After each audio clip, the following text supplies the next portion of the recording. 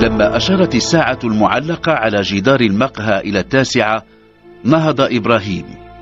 تقدم نحو النادل ودفع ثمن القهوة السوداء التي ارتشفها على مدى نحو ساعة كاملة.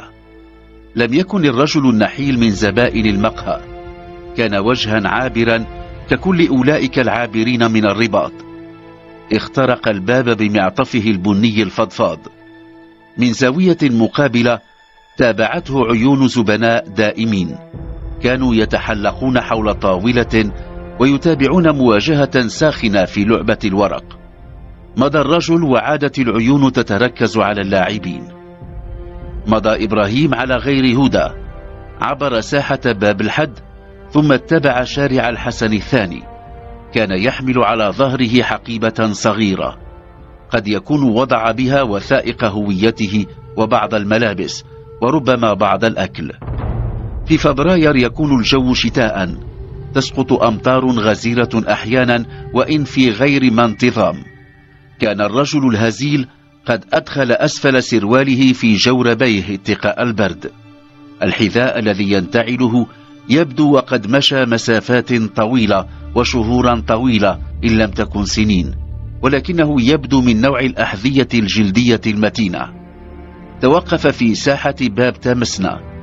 لعلها الشوارع المتفرعة هناك استوقفته نظر في كل الاتجاهات ثم واصل عبر شارع الحسن الثاني. لم يسأل أحدا. لما بلغ شارع الانبعاث اتبعه. مر بمحاذاة مستودع الحافلات. في منتصف الشارع وقبل أن ينفذ إلى شارع المسيرة توقف الرجل. رفع بصره مستكشفا واجهة منزل من ثلاثة طوابق. كانت السماء غائمة. صباح ذلك اليوم أمطرت بغزارة. وبينما كان يتأمل البيت تقدم إليه أحدهم لعله من سكان ذلك المنزل. ما الذي تريده؟ هل تبحث عن أحد؟ لم يرد ذو المعطف البني الفضفاض. تفحص بنظرات غير ذات معنى وجه الذي جاء يسأله. ثم عاود النظر إلى واجهة ذلك المنزل. كان الذي سأله واقفا أمامه لا يتحرك ثم كرر السؤال هل تبحث عن أحد؟ تنفس بعمق حتى امتلأت رئتاه أبحث عن عبد العزيز. عبد العزيز من؟ سكت وعاد ليحملق في واجهة المنزل. حالته لا تبعث على الارتياح. قال أحدهم التحق بالذي كان يسأله. وأظنه يتحين الفرصة ليتسلل إلى العمارة. بدا الرجل وكأنه يتحاشى كل مواجهة أو تصعيد معهما. لوح بيده معتذرا ثم ابتعد. كان يحس بهما يراقبانه. مال أحدهما على الآخر وقال له هل تعرف أحدا في هذه العمارة باسم عبد العزيز؟ بدا الآخر وكأنه يراجع الأسماء التي يخزنها في ذاكرته ثم حرك رأسه نافيا. قال لم يسبق لي أن عرفت أحدا بهذا الاسم في هذه العمارة. مضى إبراهيم مبتعدا. وحده يعرف أن اسمه إبراهيم. منذ زمن بعيد لم يسأله أحد عن اسمه ولا عن وجهته. لما وصل شارع المسيرة مال إلى اليسار. مشى حتى بلغ فسحة خضراء وانتبذ بها مكانا. كان المرة من هناك قليلا ما يتنبهون إلى وجوده. مرت ساعتان الحادي عشر والنصف. نهض من مكانه وعاد إلى شارع الانبعاث إلى ذلك المنزل الذي توقف عنده من قبل. وفجأة انفتح الباب وخرج رجل يرتدي بذلة داكنة. ربطة العنق التي يغلب عليها الأحمر تزيده أناقة. على بعد أمتار ركنت سيارة فاخرة. نظر إلى إبراهيم الرجل النحيل رث الثياب. لم يتوقف عنده طويلا ولعله حسبه متسولا لن يلبث أن يطلب منه صدقة.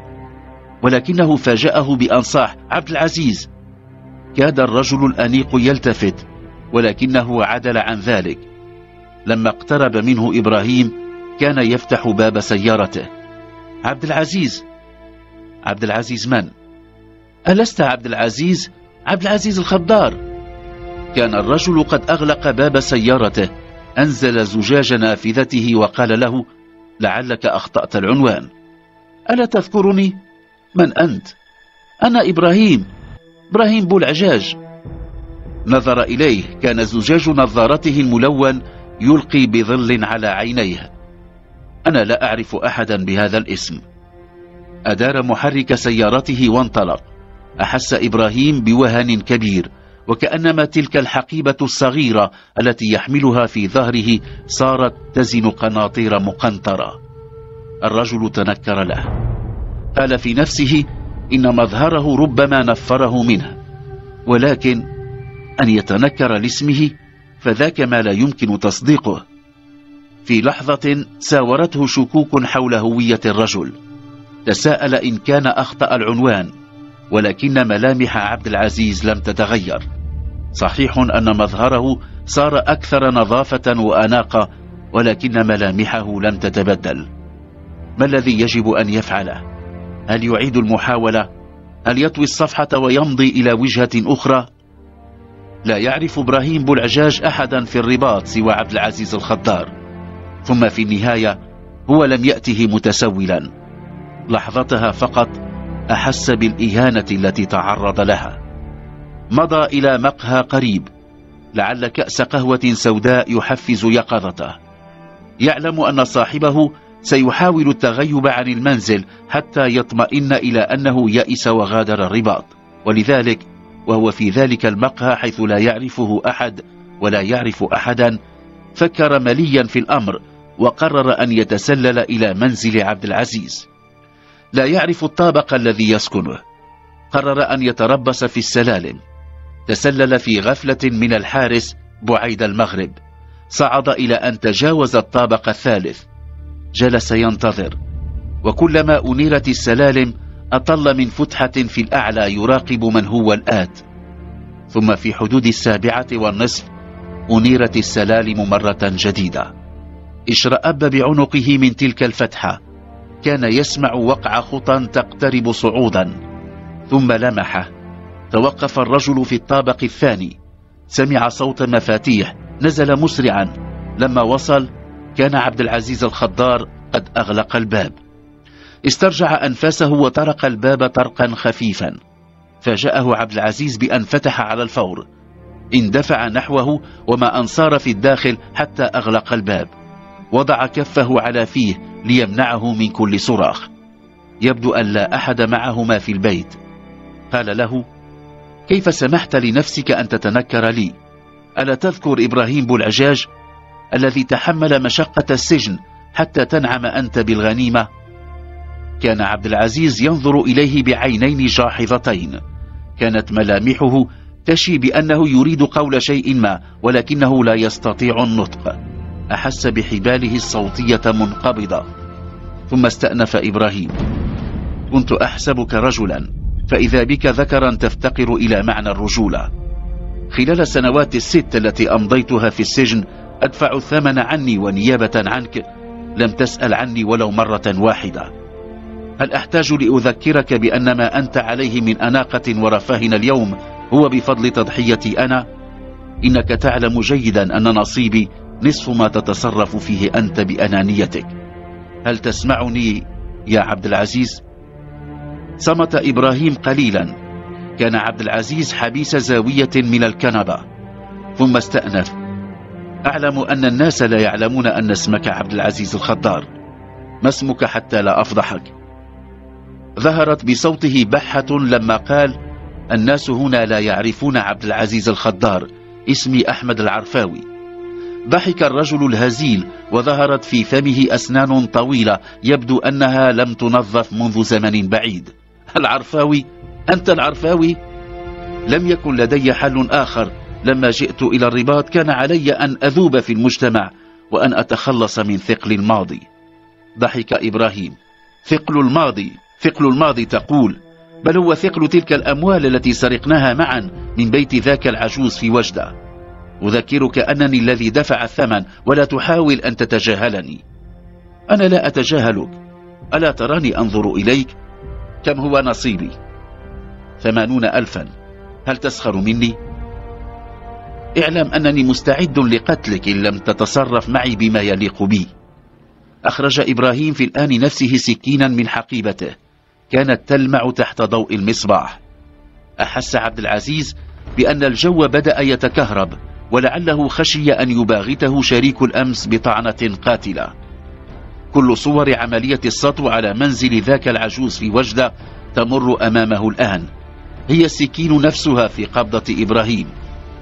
وفجأة قفز من مكانه. لم يمض بعيدا تعثر ووقع أرضا. أمسك به إبراهيم من جديد. قال له كل محاولة ثانية ستفقدك حياتك. الآن أريد نصيبي. ثمانون ألف درهم. لا ذاك مبلغ كان قبل ستة أعوام يا حبيبي.